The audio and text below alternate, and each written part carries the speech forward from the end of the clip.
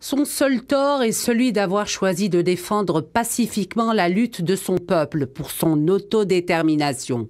Accompagné du représentant du Front Polisario en France, Mohamed Sidati, Sultana Khaya n'a pas manqué de dévoiler au grand jour les pires violations subies par l'occupant marocain.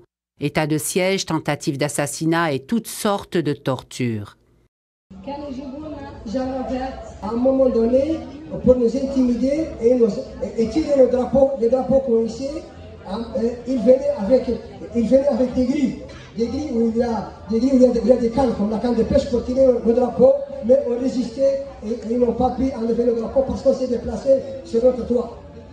Ces révélations, elle les fait alors qu'elle est conviée à Paris en tant qu'invitée d'honneur par le Parlement français à l'occasion de la Fête de l'Humanité. La militante et présidente de l'Association sahraoui de défense des droits humains est aussi présente au forum annuel des associations.